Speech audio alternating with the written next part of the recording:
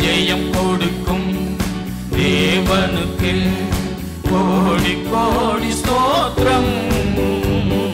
வாழ்வழிக்கும் ராஜாவுக்கு வாழ்நாளெல்லாம் ஸ்தோத்திரம். அல்லேலூயா அல்லேலூயா பாடுவேன் ஆனந்த ஒன்று சாமுவேலின் புஸ்தகம் பதினேழாவது அதிகாரத்திலே ஏலா பள்ளத்தாக்கு என்று ஒரு பள்ளத்தாக்கை வாசிக்கிறோம். பதினேழு இரண்டை வாசித்து பாருங்கள். சவுலும் இஸ்ரவேல் மனுஷரும் ஒருமித்து கூடி ஏலா பள்ளத்தாக்கிலே பாளையம் இறங்கி பெலிஸ்தருக்கு எதிராக யுத்தத்திற்கு அணிவகுத்து நின்றார்கள். இந்த ஒன்று சாமுவேல் பதினேழாவது அதிகாரம் சரித்திரத்தில் பொன் எழுத்துக்களால் பொறிக்கப்பட வேண்டிய ஒரு அனுபவம் ஒரு சம்பவம். இங்கே சவுலும் அவனுடைய ஆட்களும் அவனுடைய சேனைகளும் ஒரு பள்ளத்தாக்குக்கு வந்திருக்கிறார்கள். அந்த பள்ளத்தாக்கின் பெயர் ஏலா பள்ளத்தாக்கு. ஏலா பள்ளத்தாக்கு ஒரு வெற்றியின் பள்ளத்தாக்கு.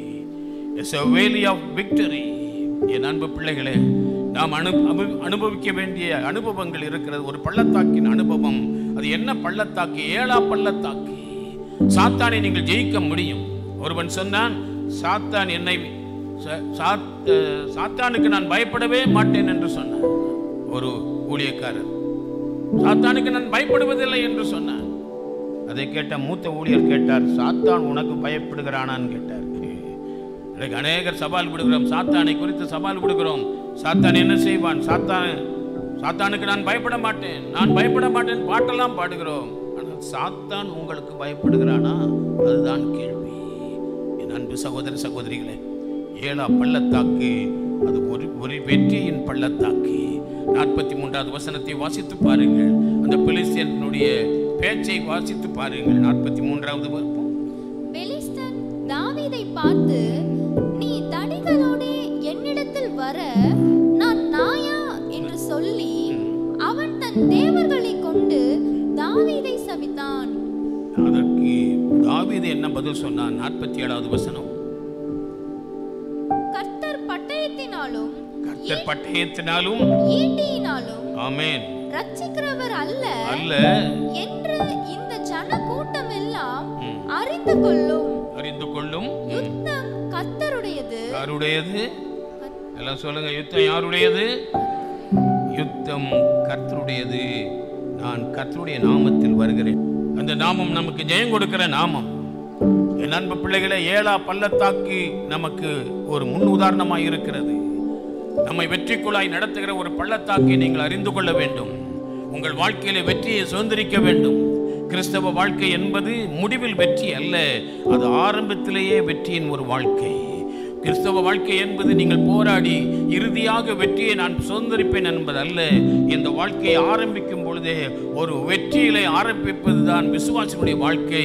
ஏனென்றால் ஆரம்பத்திலே ஏழா பள்ளத்தாக்கை ஆண்டவர் உங்களுக்கு நினைவுபடுத்துகிறார். இந்த ஏழா பள்ளத்தாக்கு வெற்றியின் பள்ளத்தாக்கு விரோதிகளை ஜெயிக்கிற பள்ளத்தாக்கு உங்களுக்கு விரோதமாய் வருகிற ஜனங்களை வெற்றி சிறக்கிற பள்ளத்தாக்கு சாத்தானுக்கு சவால் விடுகிற பள்ளத்தாக்கு சாத்தானை முற்றிலுமாய் முறியடிக்கிற பள்ளத்தாக்கு என் அன்பு பிள்ளைகளை என் அன்பு சகோதர சகோதரிகளே உங்கள் வாழ்க்கையில் இந்த பள்ளத்தாக்கின் அனுபவத்தைக்குள்ளாய் கடந்து வாங்க. காலமெல்லாம் தோல்வி காலமெல்லாம் போராட்டம் காலமெல்லாம் நிந்தை காலமெல்லாம் அவமானம் என்று உங்களுடைய மறிக்கிற வரை இதை சொல்லாதீங்க. ஆண்டவர் எனக்கு ஜெயத்தை கொடுத்தார். எத்தனை பேர் சொல்ல போறீங்க? ஆண்டவர் என் வாழ்க்கையில வெற்றியை கொடுத்தார். சாத்தானின் மேல் வெற்றியை வியாதியின் மேல் வெற்றி சாபத்தின் மேல் வெற்றி போராட்டத்தின் மேல் வெற்றி என் அன்பு பிள்ளைகளே ஏழா பள்ளத்தாக்கை உங்கள் வாழ்க்கையிலே அனுபவமாக்கி கொள்ளுங்கள். அந்த அனுபவத்துக்குள்ளாய் கடந்து வந்தவங்க கரங்களை வைத்து காட்டுங்க. ஆமேன். எத்தனையோ போராட்டங்கள் வந்தது வேதனைகள் வந்தது. இதோடு நம்முடைய வாழ்க்கை முடிந்து போனது என்ற சூழ்நிலை வந்தது. இவன் ஒரு எதிர்காலம் இல்லை என்ற ஒரு ஏக்கம் வந்தது. ஆனாலும் அப்படி அதரிசனமான கரன் நம்மோடு கூட இருந்து பயப்படாதே திகையாதே. நான் உன் தேவன் உன்னை நான் நடத்துவேன். முதிர் வயது வரை உன்னை நான் நடத்துவேன் என்று சொல்லி நமக்கு வாக்கு தத்தன் தந்த அந்த தேவன் இன்றைக்கு நம்மோடு கூட இருக்கிறார். ஏழா பள்ளத்தாக்கின் அனுபவத்துக்குள்ளாய் கடந்து வாருங்கள்.